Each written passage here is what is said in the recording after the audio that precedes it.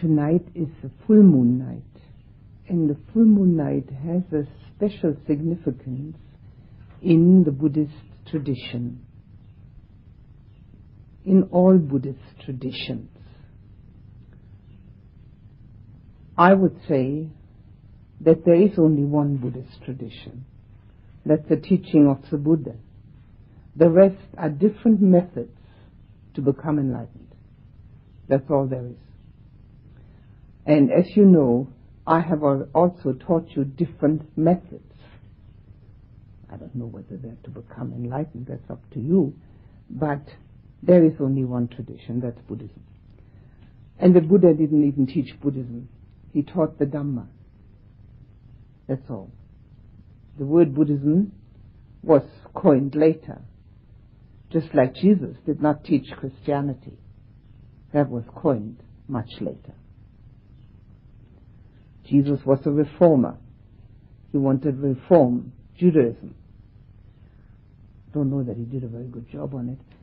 Um, but the Buddha had the same problem. He wanted to reform Brahmanism, which it was called in those days. Uh, what we call Hinduism now. Didn't do such a wonderful job on that either. Um, instead, of the reform, something new started. So both of them really had the same thing at heart, that that what they were born into, because Jesus was born into Judaism, and the Buddha was born into Brahmanism, that was what they were born into was not satisfactory, because it had been totally diluted, and it had been practiced wrongly or not at all. So, in, in the Buddhist tradition, there is a special significance to the full moon night. And the reason for that is that tradition says that the Buddha was born under the full moon, he became enlightened under the full moon, and he also died on a full moon night. So the full moon night is a very important night. Also, was born, became enlightened, and died under a tree. So that too is important. Trees are very important. Now, in a Buddhist country, of the Theravadan tradition, of which we still have three, Burma, Thailand, and Sri Lanka, I know that two of them, I don't know about Burma, because I haven't been there in a long, long time. It's very difficult now to get there. In Thailand and Sri Lanka, not only is the full moon day an official holiday, banks are closed, post offices closed, businesses are closed. Some non-Buddhist businesses also closed, of course, and to the great delight of everybody under 18, schools are closed. There are three other moon days which are celebrated, but not through the closure of the business and the schools, and that's the, the rising moon and the, the quarter, the half, and then the waning moon. So there are actually four moon days in the month, of which the one that has the full one is the most important one. The full moon in May is called Vesak, and it's the highest holiday of the Buddhist tradition, it is supposed to be the day that the Buddha was born, became enlightened, and died.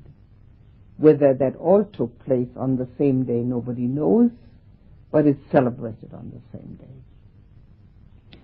It's probably just as fictitious a day as Christmas is not the birthday of Jesus, but you've got to have a day somewhere. So it is the full moon day in May, and Vesak is are very important. the most important holiday in the Buddhist calendar. One of the traditions on the full moon day is for people in these uh, Buddhist countries is to come to the temple and stay there. Take eight precepts, be dressed in white, which is an outward show of inner purity. Whether the two go together or not, one doesn't know, but at least it is uh, that kind of symbolism. Stay in the temple, chant, listen to a Dhamma talk, meditate as much as they know how, and very often also take the precept of not having any food after lunch on that day. So it's a sort of a holiday day which is taken on a spiritual level. This is very common, and in monasteries and nunneries, the tradition is practically everywhere where the practice is taken seriously. No, everywhere where the practice is taken seriously, which is not practically everywhere, that one stays up all night and meditates to the best of one's ability.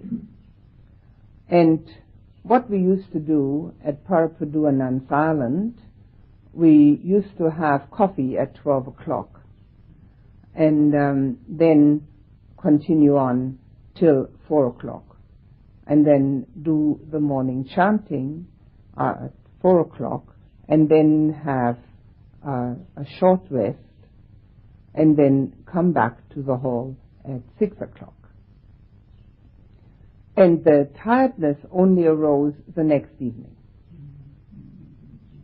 It wasn't that same evening. So um, the reason I'm telling you this is I'm suggesting to anybody who wants to do to go along with this tradition and stay up and meditate here as long as they can possibly keep their eyes open. And um, have coffee at 12 o'clock if you like it's um, it's a very well. One of the things which arises out of that is a feeling of contentment with having made the right effort, even if the if the meditation was nowhere.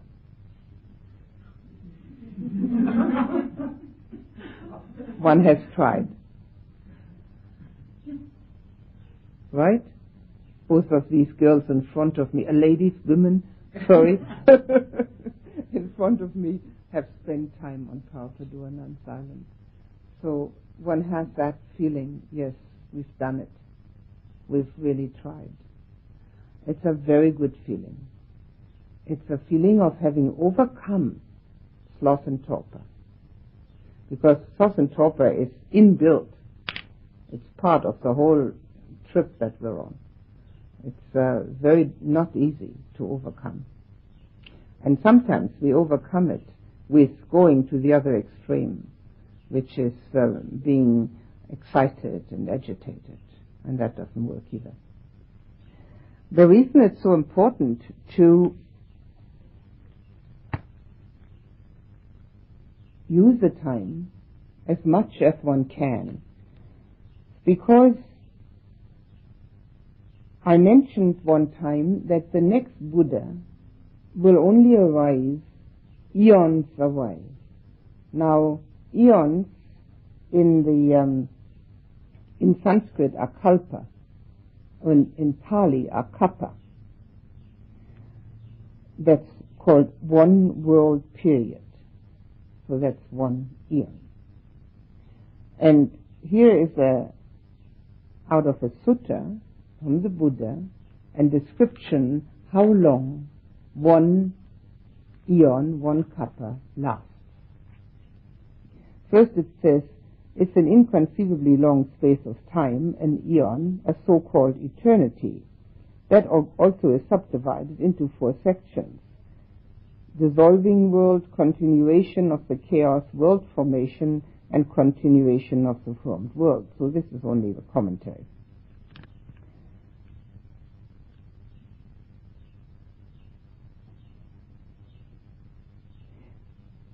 Suppose, O monks, there was a huge rock of one solid mass, one mile long, one mile wide, one mile high, without split or flaw, and at the end of every hundred years a man should come and rub against it one time with a silken cloth.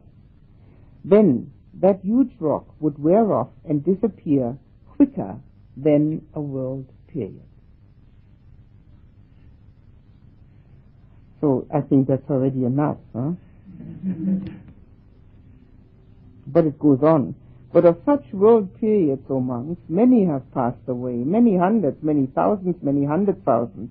And how is this possible? Inconceivable, O monks, is this samsara, this round of birth and death. Not to be discovered is there any first beginning of beings who, obstructed by ignorance and ensnared by craving, are hurrying and hastening through this round of rebirth.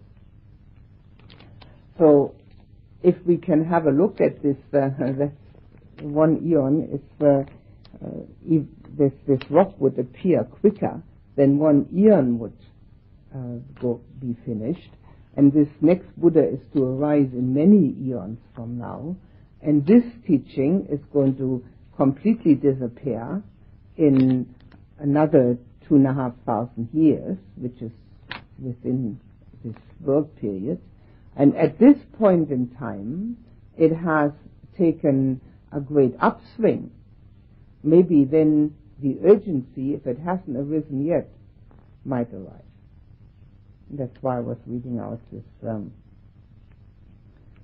actually, there's another little um, simile here, which is from a German fairy tale, from Grimm's fairy tales, and it says, in, in, in far Pomerania, there is a diamond mountain, one hour high, one hour wide, and one hour deep. And every hundred years a little bird comes and wets its little beak on it. And when the whole mountain is ground off, then the first second of eternity has passed. So I, I thought maybe this might uh, induce people to have a bit of um, uh, urgency to practice. I'll tell you a story about the full moon. It's one of the most famous Jataka tales. Now the Jataka tales are, one could say, something like Aesop's fables. They are fables about they have all have a moral content and they are purported to be stories of the Buddha's former lives. But and they're all about animals. They're all uh, animal stories. And they have a great similarity of to fables in other uh, cultures. All cultures have fables in them and they they are sort of like a real um, foundation of a society or a culture. And these are jatakas. They're called jatakas, and there are approximately 400 of those, and some are really lovely. Some are ideal to teach children something about Buddhism. Now, these are, as I said, purported to be the Buddha's former lives when he was born as an animal. But whether that's so or not, it has no bearing on the story. This um, story about the full moon, there was a hare and an otter and a fox living in the same forest. And they were very good friends.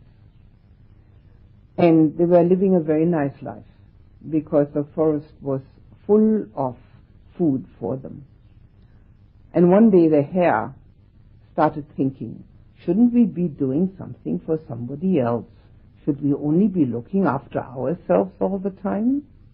Doesn't seem right. So he got his two friends, and the three sat together, And the hare said, I have this idea. And the next full moon day, if there is a traveler coming through this forest, we should have food ready for him and offer him something nice to eat because that means that we at least do something for somebody else. And the other two agreed. So when the next full moon was coming near, they went out to find something that they could have on hand if a traveler came. So the otter went down to the river and sniffed around and smelled that there were some fish that had been buried in the sand on the bank. So he got the sand aside and found the fish and he yelled out, Is there an owner to this diseased fish? No answer. So again he yelled out, Is there an owner here? No answer. So he did that three times. Didn't get an answer. So he figured there can't be an owner. So he took the fish and took them to his lair where he was living. And the fox thought about what he was going to do. And he saw a little hut that one of the farmers had built on a field next to the forest where he would spend his noon hour resting from his labors. So he peeked into this little hut and he saw the lunch, there was a lunch packet there. So he yelled out, is there an owner to this lunch packet? And didn't get an answer three times. So he took the lunch packet and kept that. And the hare was thinking all the time, now what am I going to do? I can't think of anything. All I'm ever collecting is just grass and, and weeds, and that's all I'm ever eating. I can't think what I could offer a traveler that would come through here. And then he had the bright idea.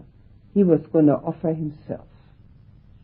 He was going to offer himself to this traveler so that he could have a very nice meal from the making a uh, barbecue of this hare. So the story says that Sakka, the king of the gods, always, who sits on a throne in one of the higher Deva realms, feels when somebody on earth makes an enormously generous decision because the throne gets hot.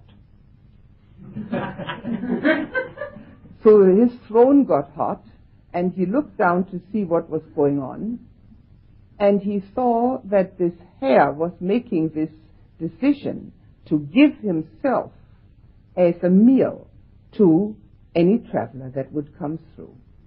And because that would be so generous that Sakka's throne would be in danger, because if it was more generous than Sakka had been, then maybe that being would become the king of the gods.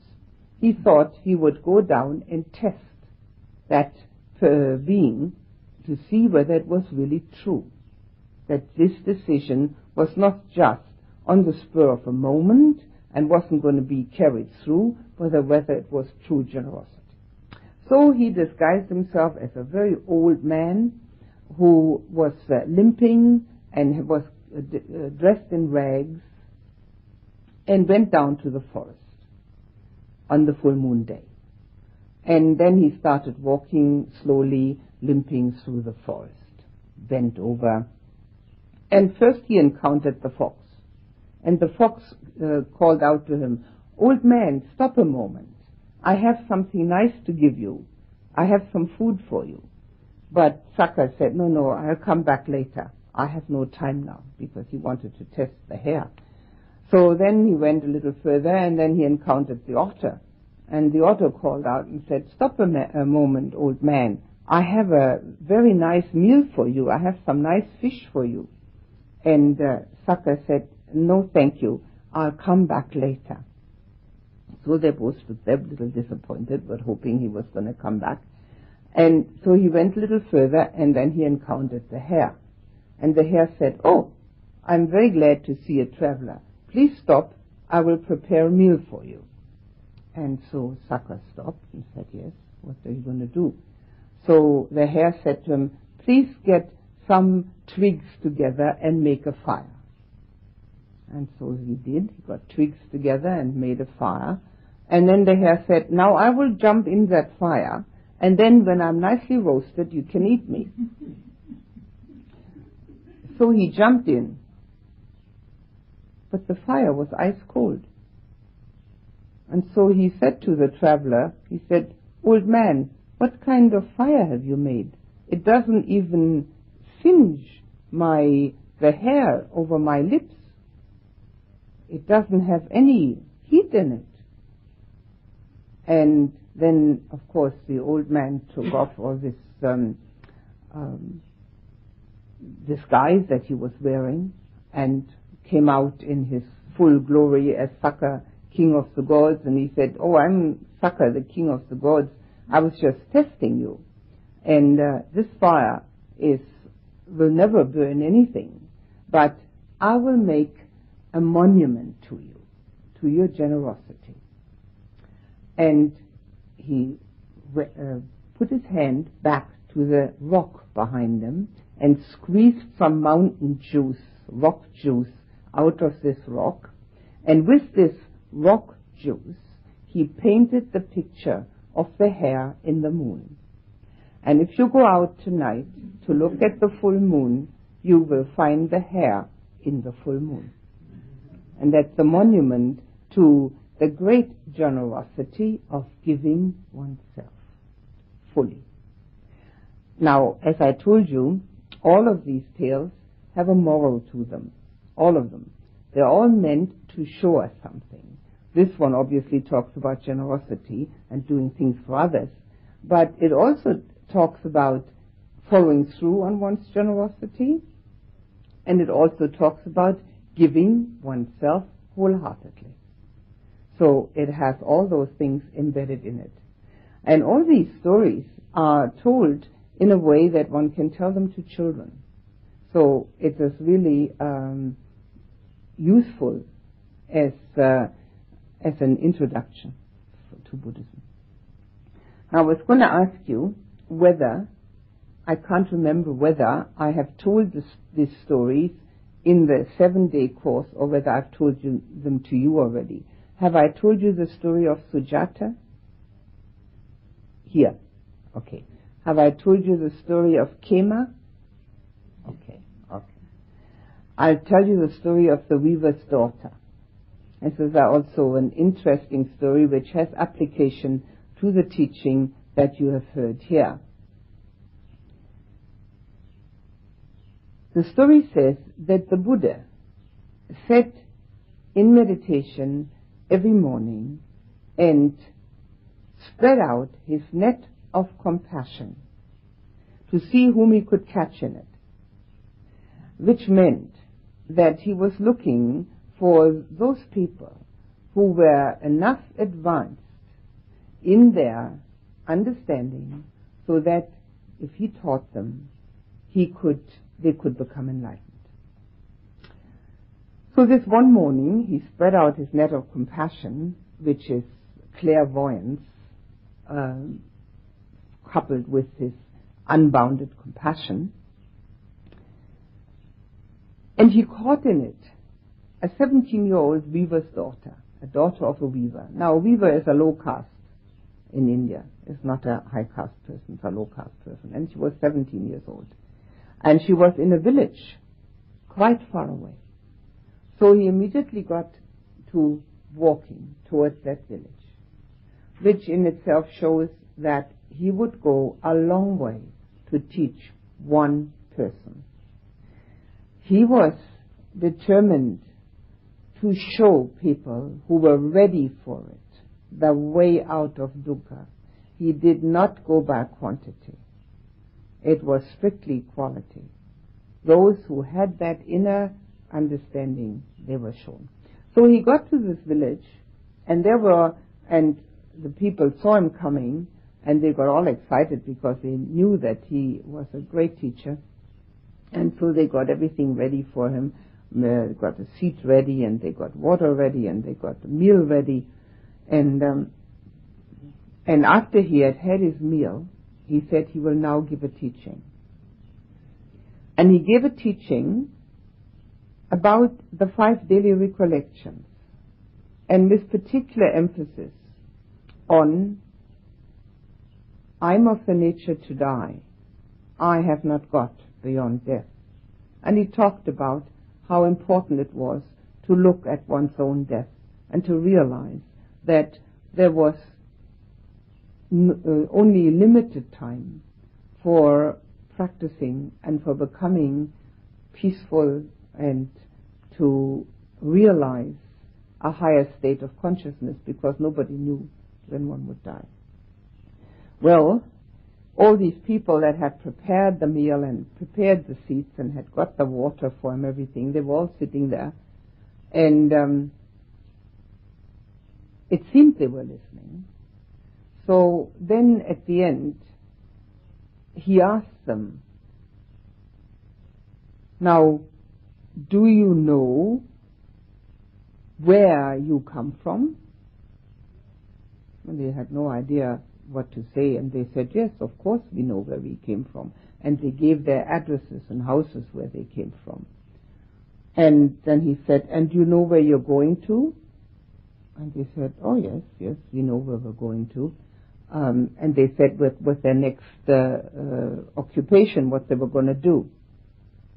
Then he turned to the weaver's daughter and he said, Do you know where you came from? She said, No.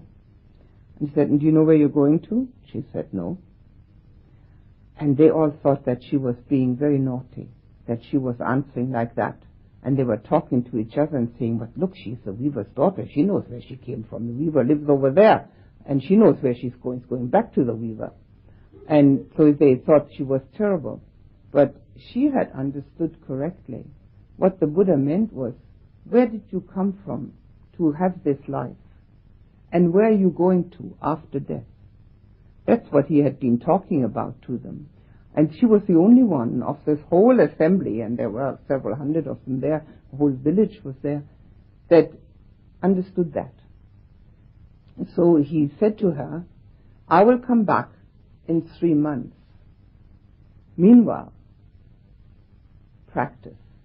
And she understood completely that what he meant was that every day in those three months she should think about dying and her own death and realize that everything is so impermanent and so fleeting that she was no longer holding on. So she did, she did that and three months later she came back, he came back. Now on the day he came back to that village, she was very excited that she could now see the Buddha again and tell him that she had gained real insight. And as she was just going to run down to the place where the Buddha was going to be, her father called her back and said that she, he needed her help that she had to help with the loom. And as she was going to get a hold of the loom, that loom slipped from her hand and hit her and killed her.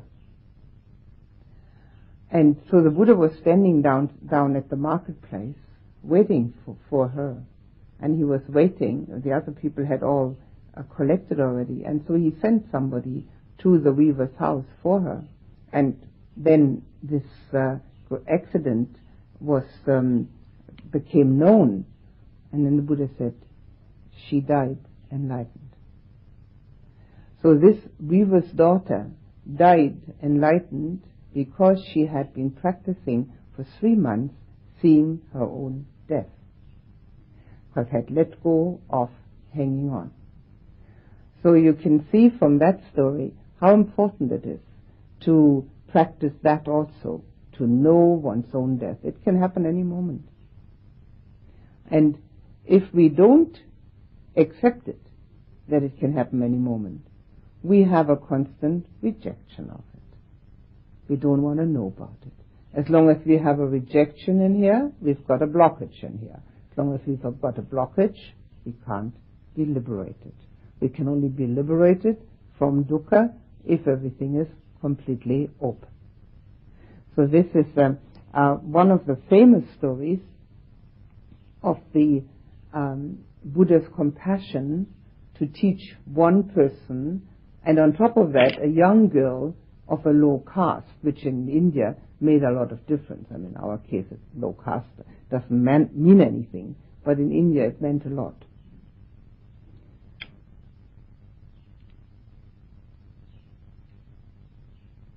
There's an interesting discourse by the Buddha, which is called the Kalama Sutta. And I think it's a very important one to know about because it seems to have enormous application to what happens to people nowadays with the Buddha's teaching. The Kalama were a warrior caste, which was a well-educated caste in those days. And they were also known to be very intelligent. And their capital was called Kesaputta. And one day it was became known that the Buddha was going to come to Kesaputta. And so the Kalama people who had not, uh, were not followers of the Buddha, decided that they would come out to the open place outside the gates of Kesaputta to hear him uh, give a discourse. So they all got together and went outside. And the story says that some of them prostrated. Some of them called out their own name. Some of them called out the name of their clan. Some of them just sat down. Some of, some of them just greeted him, which shows that there was uh, usual Indian chaos and uh, that these people were not his followers, because if they were his followers, they all would have prostrated. So after they'd all sat down, the village elder or the um, maybe the magistrate or whoever was in charge of of the of Kesaputta got up and said he would like to ask a question. And the Buddha said yes. And he said that many teachers have come to Kesaputta and each one of the teachers has been immensely able to preach his own doctrine. But each teacher had also said that all the other teachers had the wrong doctrine. And now they didn't know what to believe anymore. Now they were completely in doubt. And so the Buddha said, you are in doubt about a doubtful matter. And I will tell you what criteria to use in order to know what is the right teaching. So he asked them about the five precepts, whether breaking any of those five precepts, killing, stealing, sexual misconduct, wrong speech, and fermented uh, substances, alcohol and drugs, whether breaking that uh, training would be to their happiness and to the happiness of others. And they said no. They would get quite unhappy from it. They would have bad results. And then he asked them if they kept those precepts, would that be for their own happiness and happiness of others? And they said yes, that would be for their happiness and happiness to others, which is the first instance of the precepts have to be included in any spiritual teaching. If they're not included, then the teaching, we can forget about it. It's a, it is the basic underlying foundation. And then he gave the following points, which are not to be used in order to follow a spiritual teaching. And this is the only time in the history of all spiritual teachings that it, that uh, the master of it, that teaching included himself in this. It's never been done before because no, the Buddha never wanted anyone to follow him. He propounded his message for the benefit of suffering mankind. He was never a guru and he didn't want any gurus to be in his dispensation. So the points which are not to be used in order to follow a teaching are very interesting for us because they are applying to everything that goes on in our world just as much as it did then. The first one is not to follow a teaching because it's written in a holy book. Not to follow a teaching because it's been transmitted from teacher to disciple. Not to follow a teaching because it's in a lineage. Not to follow a teaching because you believe it anyway. It's, a, uh, it's in accord with that which you want to believe anyway. Not to follow a teaching because your friends and relations are following it. Not to follow a teaching because you can make logical deductions from it. Not to follow a teaching because it has some metaphysical uh, connotations. Not to follow a teaching because when you do, then you have just moments where you feel better. Not to follow a teaching because the teacher is a reputable person, and not to follow a teaching because the teacher said so. But if you know for yourself that this is beneficial, that this will be of benefit to you and to others, and has universal truth in it, then you can follow it by through your own investigation and practice. Now this is a, I think, one of the most pertinent uh, discourses of the Buddha for today's confusion. That confusion is rampant. And I think those points need to be um, used for one's own investigation. Do I believe it because it's lineage? Do I believe it because it's written in a holy book? Do I believe it because my friends say so? Do I believe it because I can logically explain it? Do I believe it because it makes me happy sometimes? Do I believe it because a teacher said so? Or can I really understand that it's my benefit that I'm gaining in spiritual stature and it's to the benefit of others? So one has to use one's own wisdom. And this is a very interesting aspect of the Buddha's teaching that he's always putting us back onto our own wisdom. It's a very important uh, part of the teaching because we'll only get as far on this path as our own wisdom will take us. And that's only fair. Nobody else's wisdom is going to do anything for us.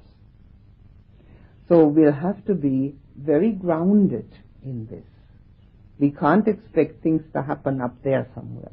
It's all very grounded.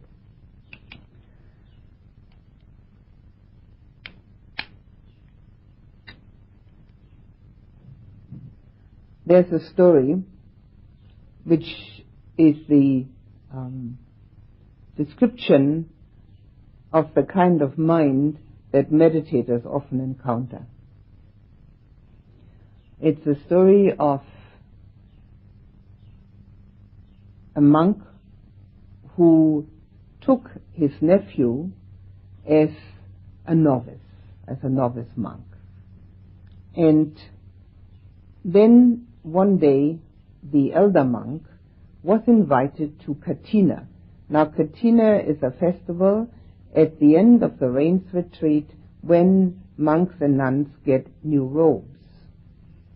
And if you're an elder monk and maybe well respected and well known, you get a lot of robes. Now this elder monk was already over 70 and had more than enough robes.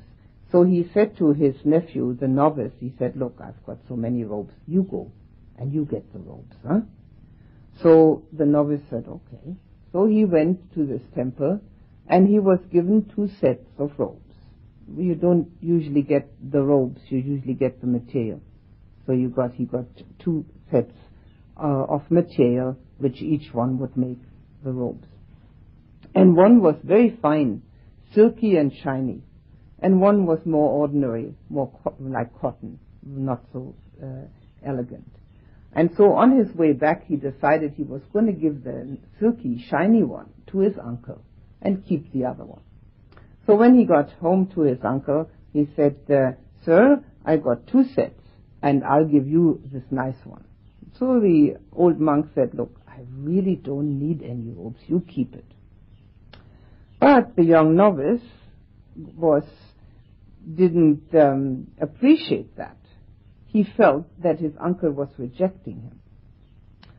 So he got angry. He got angry, but not that the uncle wasn't accepting his robe. And so he said, huh, to himself, that if he doesn't want the robes, huh, I'll go and sell them and disrobe. And just when he was thinking that, the uncle said to him, it's so hot in here, come and fan me. So, of course, the young novice said, yes, sir. And he took the fan and started fanning the old uncle. And while he was fanning him, he thought, oh, he doesn't want to take my robes, huh? Well, I'll just disrobe and, and, uh, and sell them in the market. And I'm sure to get enough money to buy myself a cow. And once I have that cow, I'll milk it.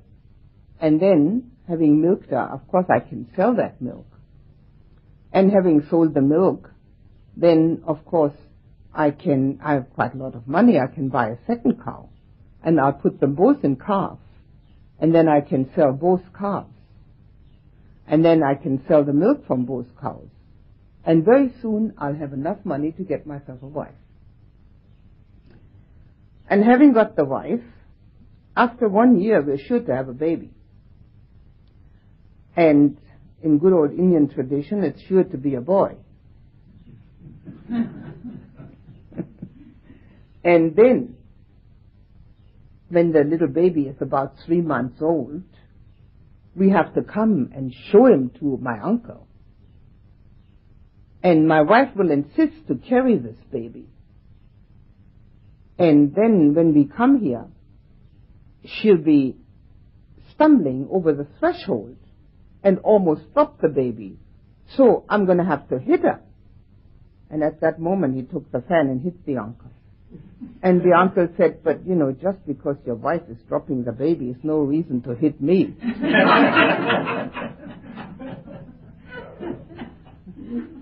it sounds like a meditation session.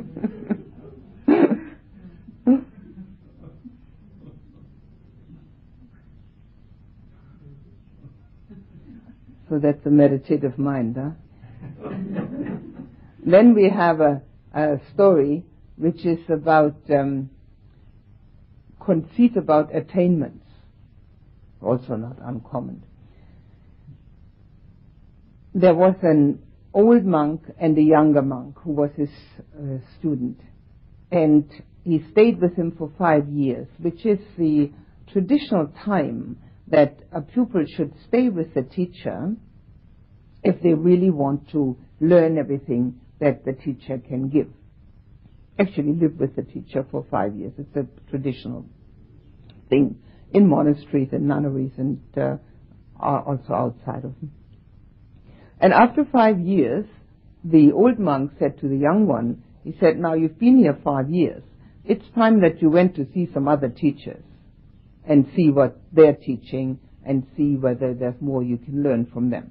So he went off on his on a trip and he went to a few teachers.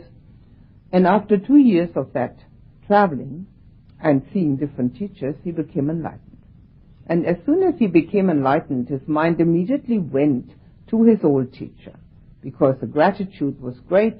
And as his mind went to the old teacher, he realized that the old teacher thought he was enlightened, but he wasn't.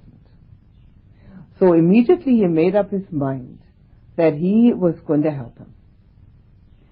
So he went back and um, to the cave where the old teacher was living. And of course he couldn't say to him, oh, look, I'm going to help you get enlightened.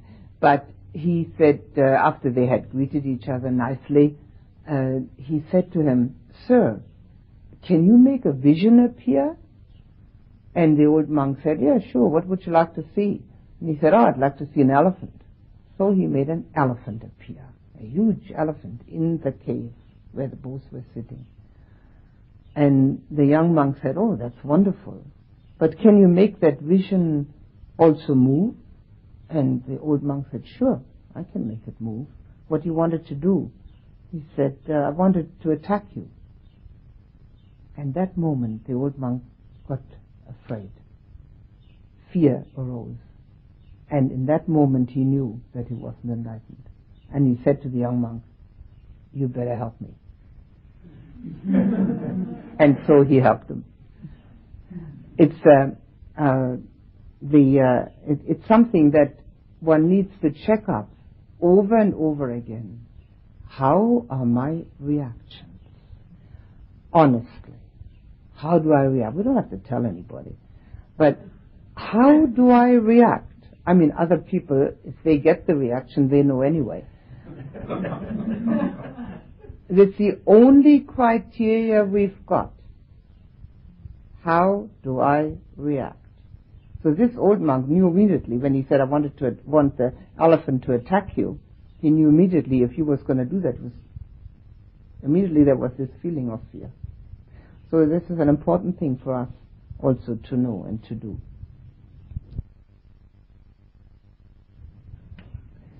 There's um, another Jataka which is also um, has reference to our lives. The reference is to our hanging on to material possessions and the pride of material possessions, to having them, to keeping them, and uh, to valuing them. A story is about a king who went with his entourage into the forest. And as they were riding in the forest, they came across a beautiful mango tree. And this beautiful mango tree was full of fruit.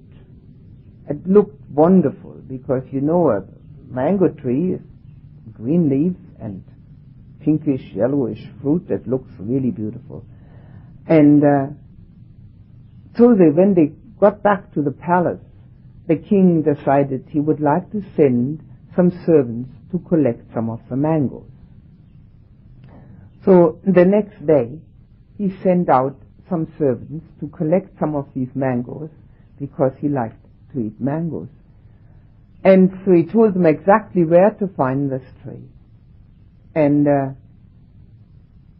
as they went to the forest, they couldn't find any mango tree with mangoes on it. They came across a huge tree that looked totally bedraggled. All its branches were broken. All its leaves had been um, cut off or had been hit by, by sticks so that they had fallen off. There wasn't a single mango left on the tree. But they could see that that must have been the tree because there were squashed mangoes on the ground. So that must have been the tree. But it, the whole tree was a total mess. And they went a few steps further to see if there was any other mango tree. And they came across another one. And it looked beautiful. All the leaves were intact, all the branches were intact. Didn't have a single mango on it. So they went back to the king and told him about it and said, you know, that mango tree that you said with all the mangoes on it, it looked terrible.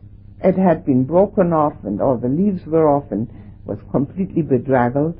And it must have been the right tree because all the, there were a lot of mangoes on the ground which had been squashed. But right next to it, there was another mango tree, but it didn't have any mangoes, so we're very sorry we couldn't bring you any mangoes. And the king thought about this. And so he didn't believe it. He thought, oh, these people, they're too lazy to go in the forest and get me the mangoes. So he himself got on the horse.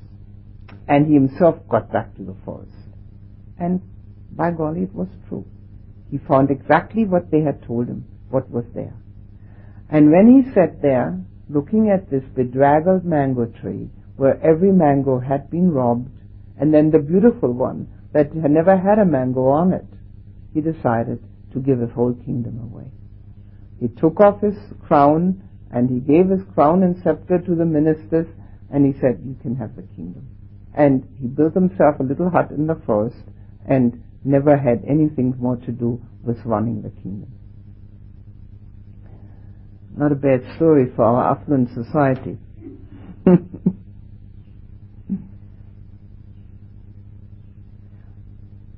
tell you another story. You might know this one. It's very well known. It's a Zen story. Zen stories are usually quite well known. The story about two Zen monks, an elder Zen monk and a younger one. And they were in a temple that was not their home temple. So they had to walk back to their home temple. It was quite a distance. So they both walked along and it started pouring rain. So they walked and they walked and finally they came to a river. And because of this pouring rain, the river had swollen. And a pretty young lady was standing on this side of the river and she was afraid to walk through the river to the other side. So the elder monk picked her up, carried her across, put her down, and walked. And the younger one traipsed behind. And as they kept on walking, the young one started thinking, what my teacher has done, we're not even allowed, supposed to look at women. And he picked one up. And then a few steps later, and he held her quite close. And then another few steps later, and he carried her all the way through the river.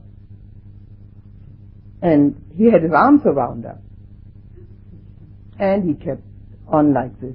And another hour, he said, and this is my teacher. And we're not supposed to touch women, women. And then another hour, and he thought, and he got himself into such a stew after two hours that he went up to the teacher and said, Teacher, I've got to talk to you. The teacher said, Yes, what is it? He said, You know, back there at the river, you picked up this woman and you held her quite close and you carried her all the way across the river. And the teacher said, Well, I put her right down, but you're still carrying her.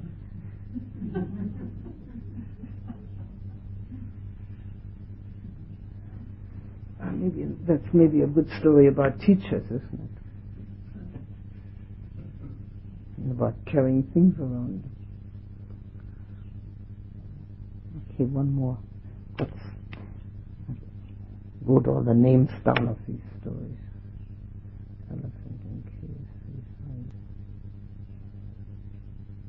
This is again a story about one of the kings at the time of the Buddha who had the story says 500 wives. one imagine. most most men can't get along with one. so anyway, he had 500. And one day he decided there was going to be a picnic. They're going to have a picnic in the forest. And so the evening before this picnic was supposed to happen, he was he let all these 500 wives know that this was going to happen and they were supposed to get ready in the morning and 500 elephants had to be uh, get got ready so that they could ride into the forest and the cooks all had to make everything ready for the picnic. And so the next day this happened. They went into the forest and uh, had this picnic. The cooks had an enormous spread of uh, food and drink. And so after a little while, the king had so eaten and drunk so much that uh, he got he started snoring, fell asleep. And so the wives said to each other, "Look, this is our chance. He's fast asleep. We don't often get out of this palace. Let's go and have a look at the forest." So they all got together and they started walking into the forest along the path and they enjoyed the butterflies and the sun going through the coming through the trees and they enjoyed the different little uh, plants they saw and uh, had a nice time. And very soon they came to a hut. And there was an old sage sitting in front of the hut. And they recognized him because he was very famous. His name was Kanti Kantivadan, teacher of patience. Kanti is patience, Vadan is teacher. And so they all sat down in front of him and they said, uh, Sir, give us a teaching. Tell us, uh, uh, give us a Dhamma discourse. And he said, Yes, I will. And so he started telling them about patience. Meanwhile, the king had woken up and not the wife to be seen. So he got quite upset and he sent out his soldiers to bring the wives back and look for them in the forest. And uh, so they went out to look for the wives and they were very easy to find. They were all sitting in front of the hut of uh. And so they went back to the king and said, uh, Sir, there's nothing to be upset about. They're listening to a, a preaching by uh. And, but the king was either totally befuddled by wine or he was uh, a very nasty person anyway. He was furious and he said, Oh, this old Kantivadan, he's trying to get my wives away from me. Go and bring these wives back here. So the soldiers had to go and bring the wives back. They did. And then he said, and now tie Kantivadan to the next tree, the nearest tree. So they had to obey to the king. So they did. And then the king in his fury he was absolutely furious about this supposed uh, uh, alienation of all his wives, stalked up to Kantivadan and said, uh, well, your patience is going to be tested and he took his sword, the king, and cut off an arm. And he said to Kantivadan, where's your patience now? And he said, sir, it's not in my arm. And of course that made the king even more furious. Once he cut off her foot. He said, where is it now? He said, not in my foot. And so he kept cutting and cutting till the Kantivadan was on the verge of dying. And Sorry? I can't imagine why. Well, he was furious. That's going to take his wives away from him. If you can't understand the story. No, no, sorry. I, I can't imagine why he was dying. Everything all cut off. He's dying. So then,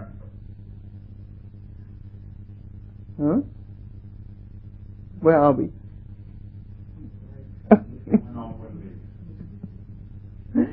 So then, when just before he was dying, the um, soldiers who had come with the king said to Kantivan, Please, sir, don't curse the whole country. Just curse the king. And so Kantivan said, I don't curse anyone. May the king live happily. And then he died. So this is supposed to be the most um, perfect patience that there is. A person who is killing you and you have no animosity at all. And you can find, of course, this kind of story in every religion that if you if you are if you get um, hit on the right cheek, turn your left cheek. It's the same thing. So um, the uh, the patience which can uh, be aroused in the heart has to be, of course, based on insight. So this kind of um, patience is probably more than what we would be able to do at this time, but maybe it would be a help if we get on the freeway. I mean, nobody's trying to kill us, and yet we get impatient. And, uh, or if, you know, anything that happens where it's so minor, and yet impatience arises.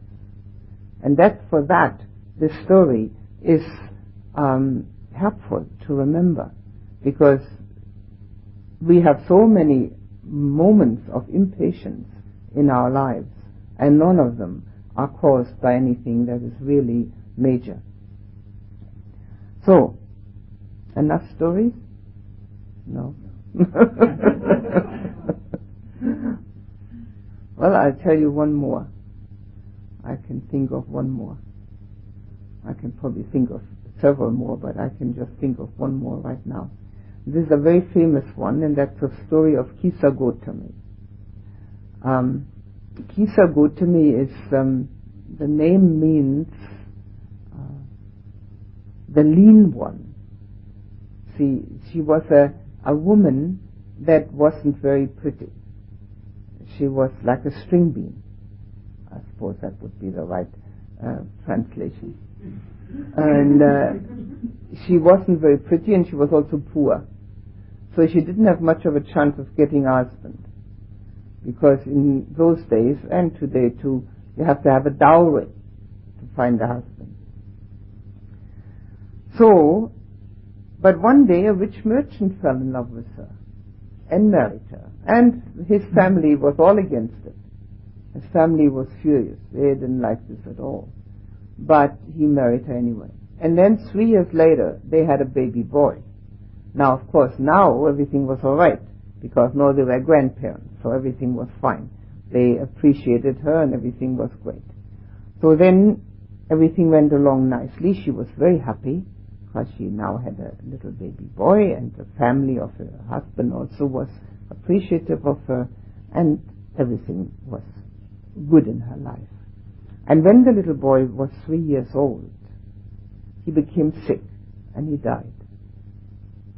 But for her, that was such an impossible shock that she couldn't accept it.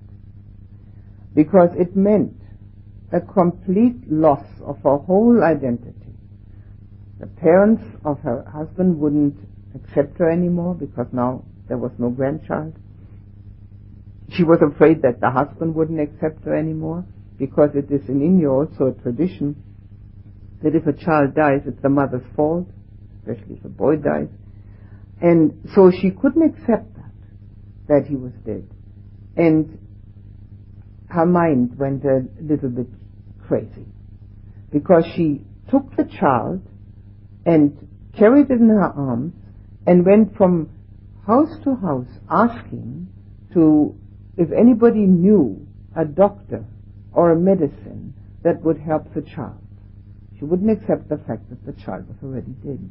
And of course, first people were very sorry for her, but when this kept going on and on and on, they got upset with, with her and they just didn't like to talk to her anymore. Course, they could see that she wasn't even reacting properly. So they were, they were totally disgusted with her in the end and she didn't have any friends, didn't have any family, just ran all over the place with this dead child in her arms. And one day she came across a man who said to her, when she asked him, don't you have a, do you know a doctor or a medicine for my child? He said, I do know. And so she said, please take me to him. So he took her to the Buddha. And she went to the Buddha and she knelt down in front of the Buddha and said, Look at my sick child. Can you give me medicine? And the Buddha said, Yes. And she said, Yes, what is it? So he said, Go down to the nearest village and go to the first house and ask for a handful of mustard seed. And she was just going to run off to do that when the Buddha said, Now wait you can only take the mustard seed if nobody has died in that house. She said, all right. And if it's not the first house, you go to the next one and the next one and the next one until you find a house where they can give you a handful of mustard seed and nobody has died in the house. So she ran off to the village, knocked on the door, and asked for a handful of mustard seed. Now mustard seeds are a very common commodity in India. Everybody has it in the house. It's like asking for a cup of sugar. And so immediately it was offered to her, and then she said, "Oh, has anybody died here?" And so the woman who offered it said, "Yes, Grandpa died just a few days ago." She said, "Oh, I can't take your mustard seed." So she went to the next house, and the maid had died, and then she went to the next house, and the child had died, and she went to the next house, and the next house, and she came to the last house, and somebody had died there too, and then she understood right then and there it dawned on her. death is inevitable. So she went back to the Buddha and said, I understand. It wasn't medicine for the child, was it? It was medicine for me. He said, yes.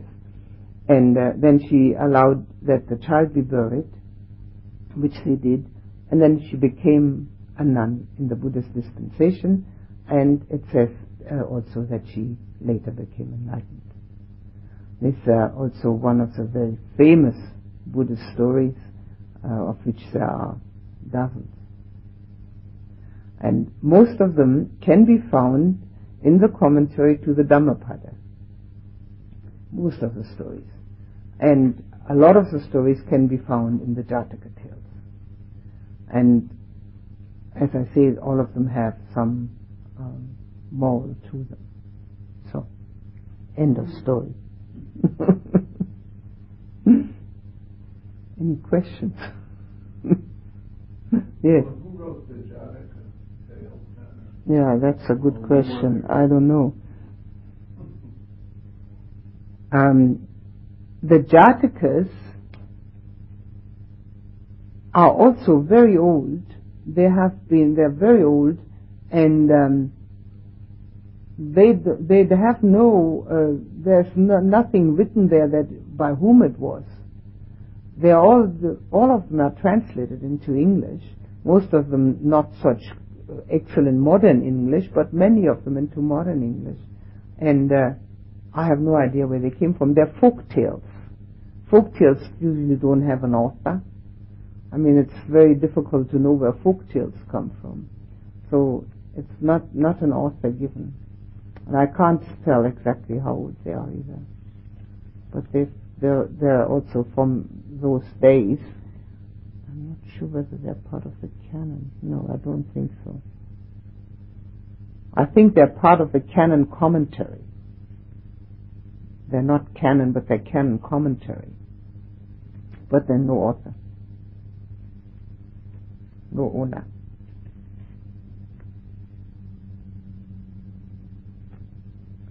I think I told you all the stories I was going to tell you. No, I have one more I thought of. I, I'll tell you one more story. Three signs. It's an important one. It's not so much a story, it's part of the Buddha's life. When the Buddha was a prince,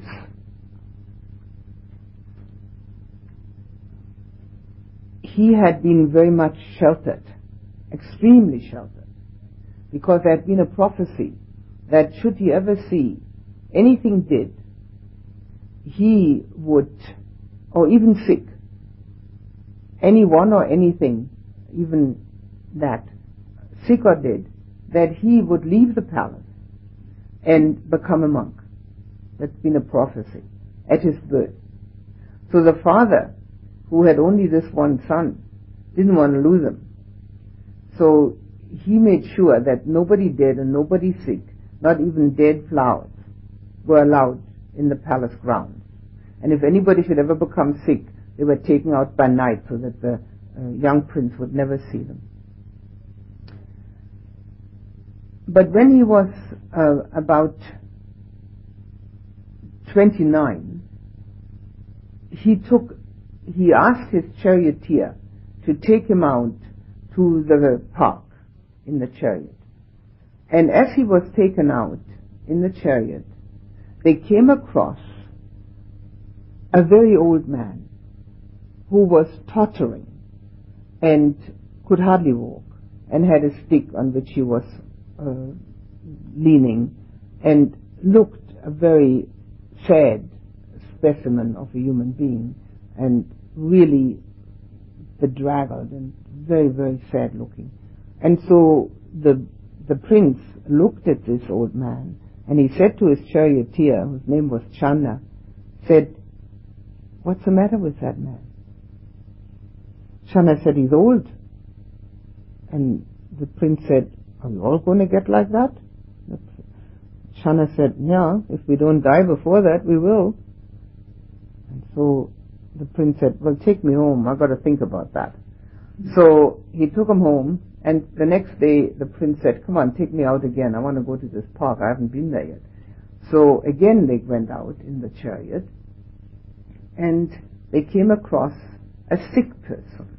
Now this sick person was lying on the on the road, on the sidewalk maybe, and it was so sick that the flies were sitting on the eyes and the and the mouth, and it was moaning and groaning, and couldn't. There was a water cup next to him, but he couldn't reach it anymore, and it was a very sorry sight. And the prince said to Channa, "What's the matter with that man?" And Channa said, "He's sick." The Buddha said, "Oh, the prince." He said, um, "Hmm, we all going to get like that?" And Channa said, "Well, yes." It's all liable to hit any one of us.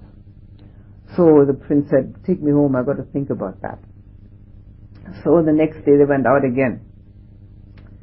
And as they went out in the chariot, they met a procession carrying a, a corpse on a litter to the cremation grounds. And the women were walking behind the corpse and lamenting and crying and uh, sobbing and grieving and tearing their hair out and a whole long procession. And there was this corpse lying on this litter, which was being carried. And so the prince said, what's this? What's the matter with that person? And Channa said, it's dead. And the prince said, are we all going to look like that? Just like a piece of rock lying on a litter? And Channa said, sure. That's going to hit all of us. And the prince said, take me home, I've got to think about that. And the next day they went out again. And as they went out again, they met a monk in robes. And his face was serene. And he had his eyes down and his face was, had a sort of an inner smile on it and a very serene expression. And he said to Channa, and who's this? He said, oh, it's a monk. He's a renunciate. And the Buddha, prince said, well, take me home. I've got to think about that. And the next day, he decided to renounce the palace and the family and go out into the forest and find the answer to the dukkha that mankind has. These are called the old man, the sick man, and the dead man are called the three signs. That's the, the name for them. And when he saw them, that was enough to make him go and practice. He for six years until he became enlightened. And later he gave a description of the different kinds of people that there are. And he compared them to horses. That there is a kind of horse that you only have to whisper and it already obeys. There's a kind of horse you have to pull the reins and then it obeys. There's a kind of horse that you have to use the spurs and then it obeys and there's a kind of horse where you have to use a whip. And the first one which you only have to whisper, that's the one that can, in a person, that the person that can see dukkha everywhere. The minute there is old age, disease and death, it's clear that one has to practice. That's what the Buddha did the one where you have to pull the reins is if you can see dukkha only if it's right in front of your eyes and there is some real suffering, not just old age, disease and death, not enough. If somebody is right in front of your eyes and really suffering, and when you have to use the spurs, it has to be somebody in your family that's really suffering. And if you have to use a whip, you've got it yourself to be really suffering. It doesn't matter which one you are as long as one gets to uh, practicing. So the Buddha only needed to see strangers having the old age, disease and death, and then he started uh, practicing. And left the family in the palace and went to the forest. And first he learned the jhanas. The first teacher he learned the seven jhanas, and with the second teacher he learned the eights. And both teachers thought that that's all there was to the spiritual path. Both teachers wanted him to become a teacher with them together. The second one actually wanted to give up all his students and give it to the Buddha or the Bodhisattva at that time. And he said no. Because when you come out of the jhanas, you still have dukkha. So that there must be more to it. And then he couldn't find a teacher to teach him any more than that, so he found it himself, as every Buddha does. Have to find the Four Noble Truths and the Noble Eightfold Path himself.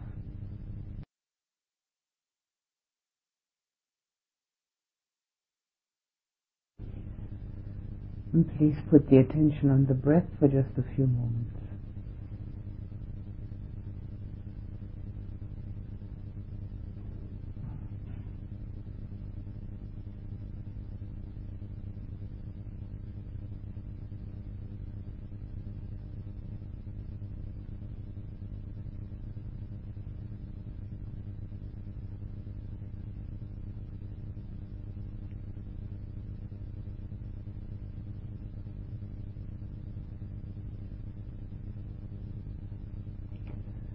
Think about the dukkha that you have experienced in this life and anything you have understood through insight about dukkha,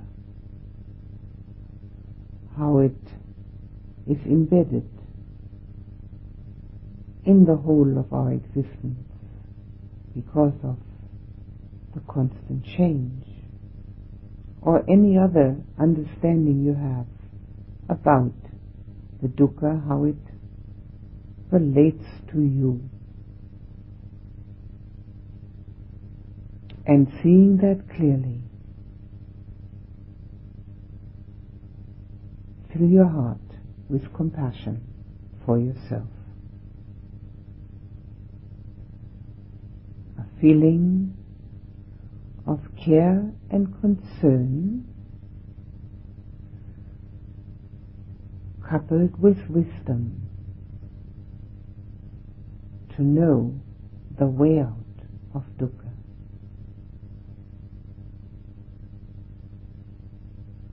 So that the compassion for yourself brings joy.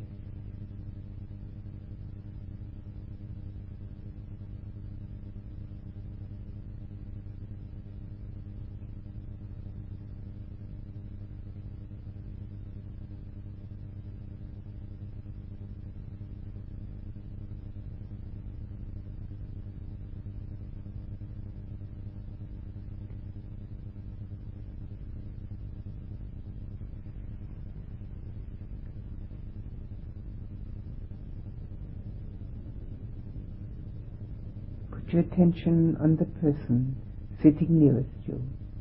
Recognize exactly the same dukkha in that person that you have recognized in yourself from exactly the same causes. And fill him or her with compassion and with the joy that he or she has also found the way out of dukkha, the path that leads out of dukkha.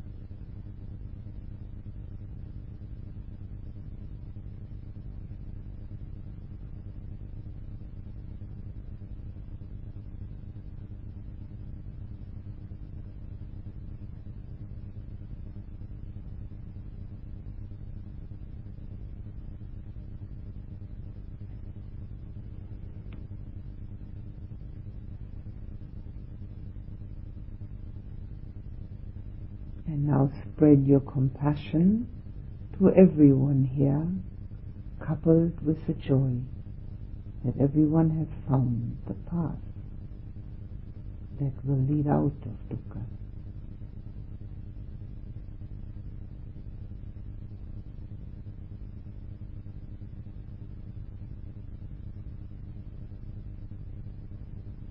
Never imagine that there's anyone who has less dukkha. Dukkha is all pervading. Compassion is the only reaction.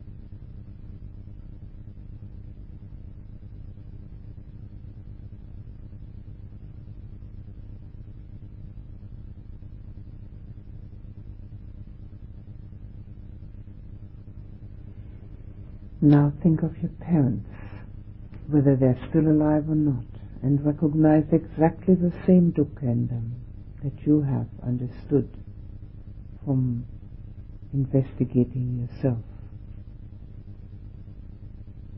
No difference. It's universal. Fill them with your compassion. Embrace them with your compassion.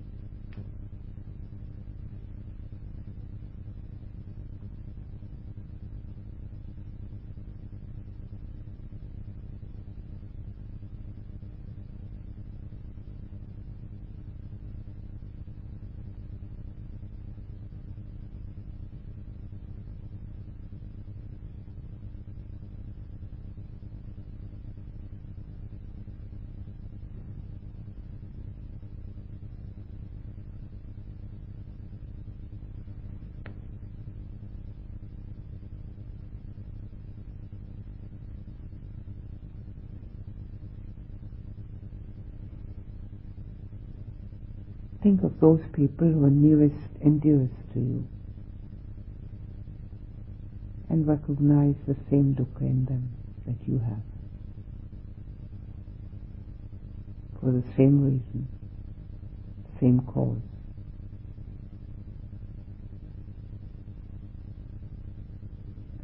Fill them with your compassion, embrace them with your compassion. Let them know that you care, that you're concerned, and that you understand.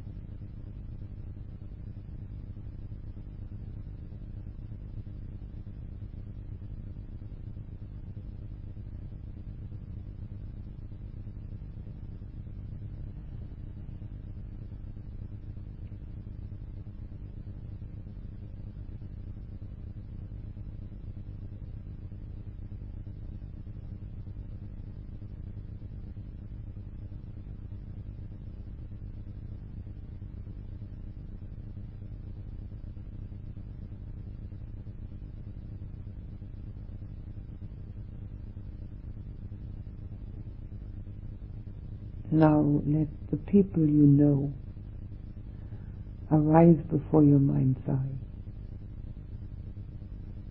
Friends and relations, acquaintances, colleagues,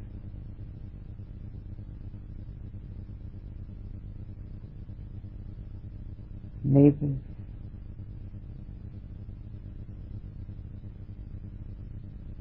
anyone you can think of.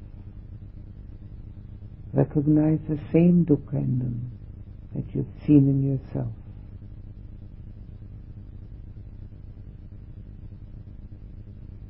And let your compassion flow to each one of these people whom you know or have met.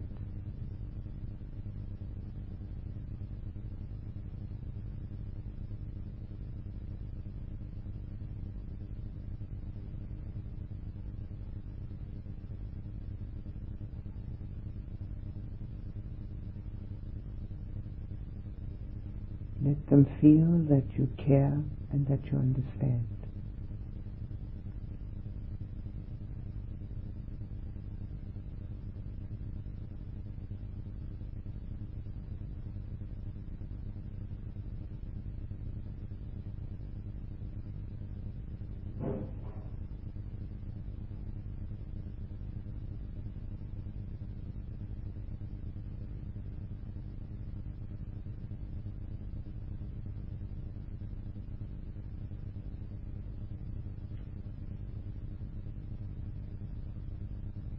Think of anyone whom you don't like or who, towards whom you are quite indifferent. Recognize the same dukkha in that person's heart and mind. And let your compassion flow to that person too. No difference. All beings are exactly in the same situation.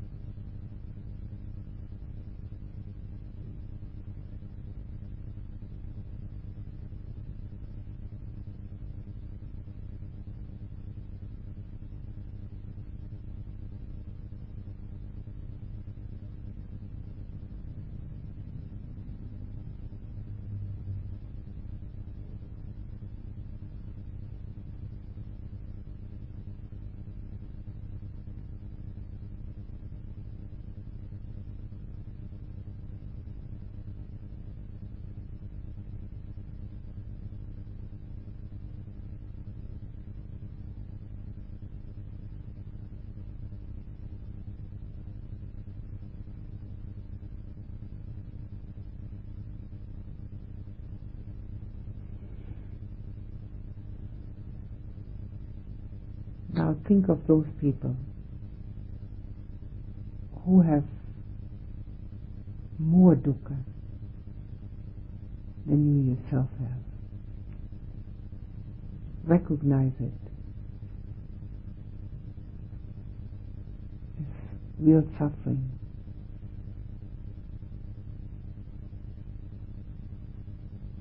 And let your compassionate heart reach out to all these people so they may know and feel that you care and understand and want to help.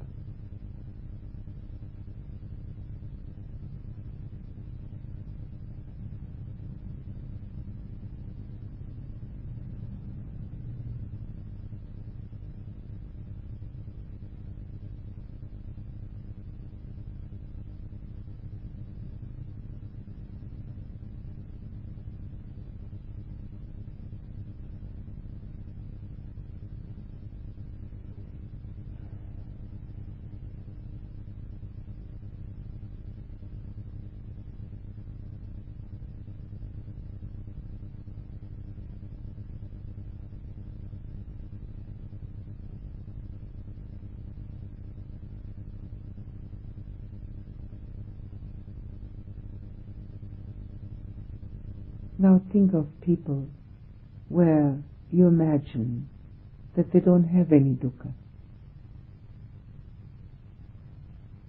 And recognize the fact that that's not possible. It's embedded in every experience.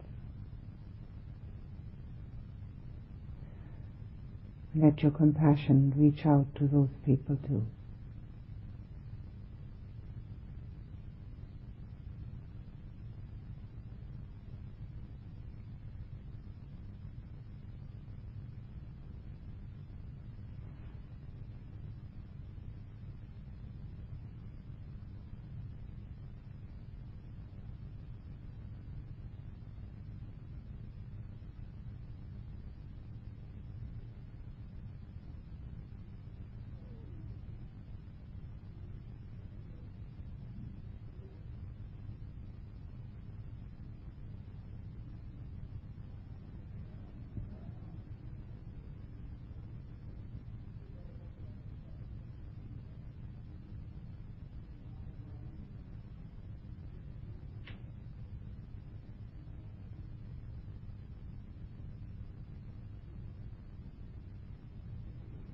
Open your heart as wide as you can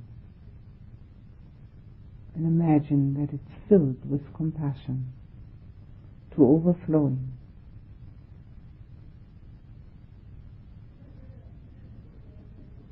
Like a river that's going over its banks, let the compassion flow out of it and fill people and other beings, near and far. with your feeling of care and concern and helpfulness.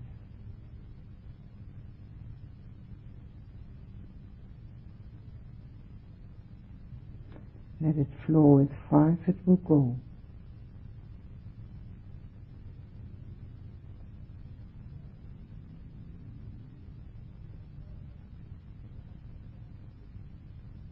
Touching the hearts of those that are open to it.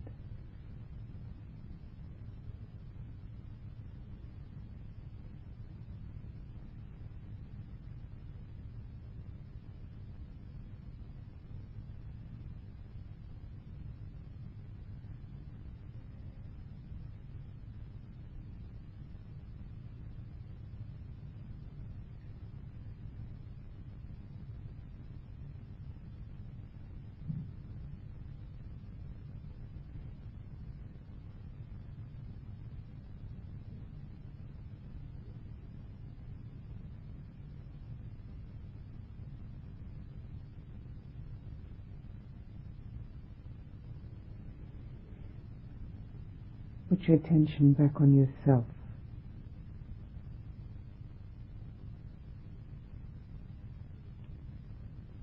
Feel yourself filled with compassion and joy. Recognizing that dukkha is, but the way out is there too.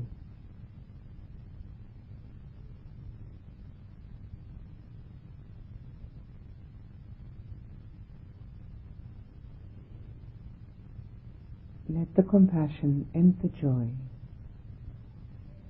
be all embracing.